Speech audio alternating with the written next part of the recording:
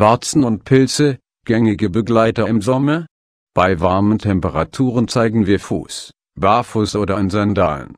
Leider stecken wir uns dann auch häufig mit Viren und Pilzen an. Mit ein paar Regeln lässt sich das meistens vermeiden. Gerade im Sommer laufen viele Menschen im Schwimmbad und auf den Wiesen barfuß. Dadurch setzen sich unzählige Nagelpilzsporen sowie Viren ab. Treten wir auf eine infizierte Stelle, können die Viren oder Pilze über winzige Risse in der Haut in unseren Körper eindringen und sich vermehren.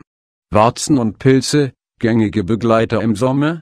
Kälte gegen Warzen Warzen bilden sich häufig an den Fußballen oder Zehen. Da einige ansteckend sind, sollten Sie die Warzen direkt behandeln, am besten mit Gelte. Entsprechende Produkte zum Vereisen erhalten Sie in Ihrer Gesundleben Apotheke. Oft reicht dafür eine Anwendung aus. Sollten Sie unsicher sein, suchen Sie Ihren Hausarzt auf.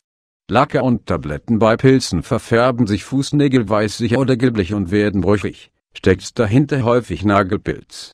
Dann können sogenannte Antimykotika in Form von Nagellacken oder Tabletten helfen. Sie töten die Pilzsporen ab. Um eine Ansteckung zu vermeiden, sollten Sie in öffentlichen Bädern und Umkleidekabinen immer Badeschuhe tragen und Ihre Füße nach dem Duschen gründlich abtrocknen.